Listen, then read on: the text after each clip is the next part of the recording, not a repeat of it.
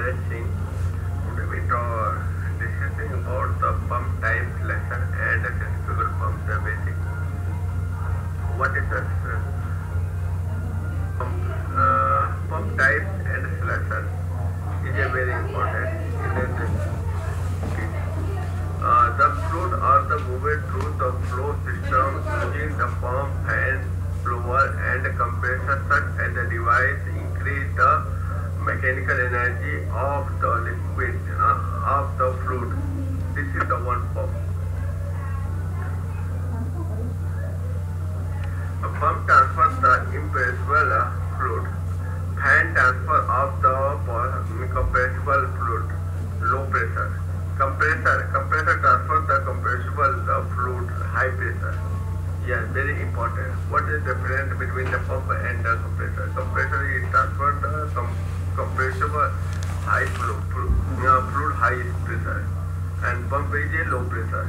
So this is the one the different.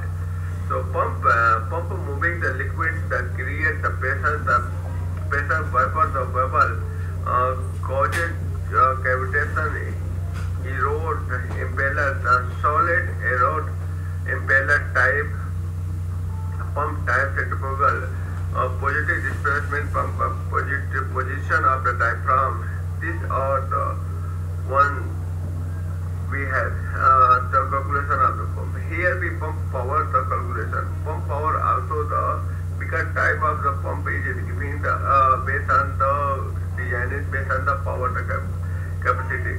So here yes uh, quantity acute data delta pressure of the brake delivered, uh, delivered horse power from the motor. So this is the one the this the one the brake brake lever the horse and power based on the delta good uh, delta pressure. So this is the one the main specific factor. Classification of the pump.